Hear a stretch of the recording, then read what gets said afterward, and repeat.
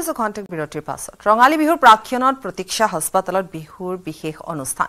বিহু নাচৰ আয়োজন প্ৰতীক্ষা হস্পিতাল কৰ্তৃপক্ষৰ ব্যস্ততাৰ মাজতে হস্পিতালৰ চিকিৎসক নাৰ্ছৰ লগতে আন আন কৰ্মচাৰীয়ে বিহু নাচৰ অনুষ্ঠানত অংশগ্ৰহণ কৰে। বিহু নাচি স্ফূৰ্তি কৰে।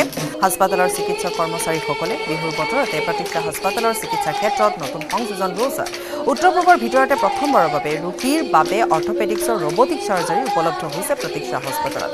ৰৌছা নামৰ ৰবটেৰে বিভিন্ন ৰোগৰ চাৰ্জাৰী কৰা হ'ব। চিকিৎসালয়খনত এয়া হৈছে এক নতুন সংযোজন আৰু আজি তাত এনেধৰণে বিহুৰ দিনাখন বিহু উদযাপন কৰিছে।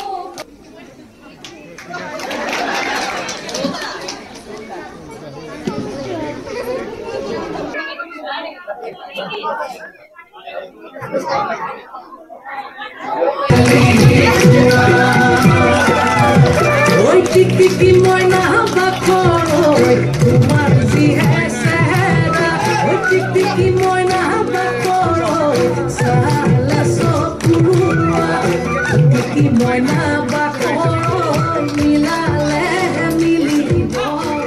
আজি প্ৰথমবাৰ এইবাৰ একচুৱেলি কোৰাছ হস্পিটেলত আমি কোৰাছ ইয়াত চিকিৎসালয়ত আমি প্ৰথমবাৰৰ বাবে বিহু পাতিছোঁ আৰু আপোনালোকৰ উদগনিত আমি যথেষ্ট উৎসাহিত হৈছোঁ আৰু পিছলৈ ইয়াতকৈ সময় একেবাৰে নাছিলে।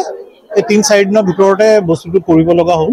সেইকাৰণে অনুষ্টুপীয়াকৈ হ'ল কিন্তু লাহে লাহে লাহে লাহে এইটো বাঢ়িব বুলি আমি আশা কৰিছোঁ। আৰু ইয়াত যিমানবোৰ শিল্পী আছিলে আপোনাক দেখিছিলে এইবোৰ কোনো বাহিৰৰ নহয় আমাৰ হস্পিটেলৰে কৰ্মী আমাৰ হস্পিটেলৰে ডক্তৰ তেওঁলোকে মিলি চবেই এইটো কৰিছিলে। এই এই এই ইয়াত মোৰ মতে এটা কথা ক'বলৈ আছে বহাগ বুলি কৈ যোৱাৰ লগে লগে আমাৰ অসমীয়া সমাজত এটা ডাঙৰ শক্তি আহে। বহাগ বুলি কৈ দিয়াৰ লগে লগে বহাগৰ বিহুৰ কথা আহে। আৰু এই বহাগ বিহুৰ এটা আমাৰ অসমীয়া সংস্কৃতি মই ভাবোঁ এটা ডাঙৰ স্তম্ভ।